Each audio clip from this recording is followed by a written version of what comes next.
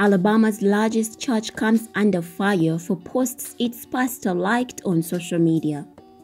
Church of the Highlands, the largest church in Alabama and one of the largest in the United States, has come under fire in recent weeks after its pastor liked social media posts that some in the community considered racist and offensive. A teacher who does not attend the church noticed that Pastor Chris Hodges, who founded the Birmingham Best Church in 2001, liked posts by Turning Point founder Charlie Kirk and brought attention to it on social media. After weeks of controversy, the Birmingham Housing Authority ended a partnership with the church that started in 2017. The church has hosted outreach programs and social services in public housing communities operated by the Housing Authority. The next day, the Birmingham School Board voted to end its lease agreement with the Church of the Highlands. Two of the church's campuses met at Birmingham City Schools, and the school board chose to exercise a clause that allows them to end the lease as long as they give the church a 90 day notice. Pastor Hodges addressed the controversy in the Memorial Day weekend sermon. He told the church in an online sermon, I understand how this has made you feel and I apologize. Honestly, it's understandable to me. I don't take it personally. I know people are hurting right now and they want clarity. I would love for you to not just look at the microscopic zoom in, but look at the totality of the 37 years of ministry and 19 years as a church. Hodges continued. If you look at that, it will be abundantly clear that we value every person. For every person that has been marginalized, rejected or belittled, abused or even afraid because of how God made you. Tammy and I and the Church of Highlands family stand with you. Additionally, Hodges apologized in a June 2nd statement posted on the church's website.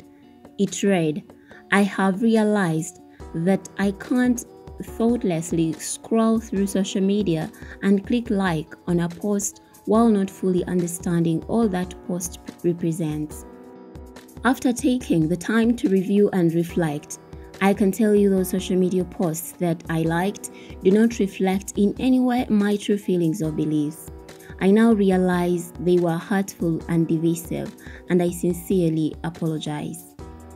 Jasmine Faith Clisby, the teacher who discovered the liked posts, said she found it objectionable and noteworthy that Hodges followed Charlie Kirk on social media.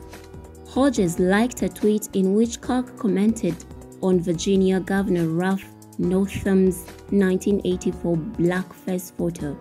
She also posted a screenshot of a photo Hodges liked in which Kirk was donating blood. The caption read, We all must do our part to defeat the China virus. Several well-known personalities have come to Hodges' defense. Former Attorney General Jeff Sessions, who is a candidate for the Alabama Senate seat he vacated in 2017, issued a statement calling on the Birmingham Housing Authority and the Birmingham City Schools to change their votes to sever their relationship with the church. He said the votes represent an attack on both religious liberty and freedom of speech. Donald Trump Jr. weighed in on the controversy as well. He tweeted, They are canceling the pastor of the largest and most racially diverse church in Alabama just because he liked some at Charlie Kirk 11's posts? Absolutely insane. Charlie Kirk also defended both himself and Hodges he told Fox News that he is being slandered by the mob for stating mainstream pieces of widely cited data and public information. Kirk had been scheduled to preach to the youth group at Church of the Highlands, which has 20 campuses across Alabama and one in Georgia. He said Hodges is a wonderful ambassador for Christ. Then he added, I didn't ask him to like my posts. He did so on his own.